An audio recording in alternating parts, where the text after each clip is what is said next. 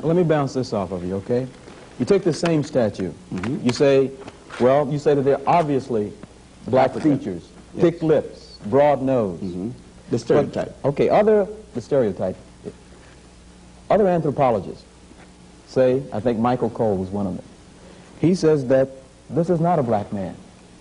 He said the people who made these statues, which I understand are eight feet high, the people who made these statues didn't have sharp enough tools to give them white features, so they're not really black statues. They're white people carved with crude tools. What's your response to that? It's strange that the tools were not sharp enough to make narrow noses, but it was sharp enough to put eyelids. So it would seems to me that an eyelid is harder to make than a thin nose. But uh, Michael Coe is no less a racist than the head of the Ku Klux Klan. I mean, what's the difference between Michael Coe Reagan and the Ku Klux Klan? It is, have the same philosophy. What is the difference between the fellows writing the Bible and write about the Queen of Sheba asking, I mean, saying to Solomon, uh, look, uh, look not, ye daughters of Canaan, look not upon me because I'm black. My parents sent me in the vineyard and thus all this nonsense. She's black because nature made her black. Her mother and father were black. That's why she's black. Had nothing to do with going in any vineyard, even though it's in the Bible. Okay, you talked about religious. We're going to get to that in a while. Let me turn to Dr. Simmons.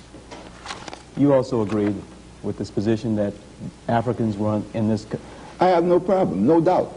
Why? As a matter of fact, speaking about, uh, like Dr. Ben mentioned, uh, and you spoke about Michael D. Coe, I own a book several years ago and still have it in my possession by Michael D. Coe himself, who is considered one of America's leading archaeologists and anthropologists from Yale, one of America's most prestigious schools.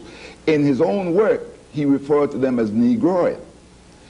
And he went further to state the title of the book is America's First Civilization, what you call civilization.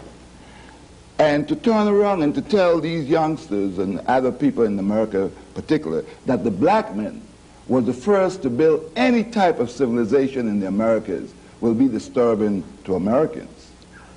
And so Let me ask you this. Yes.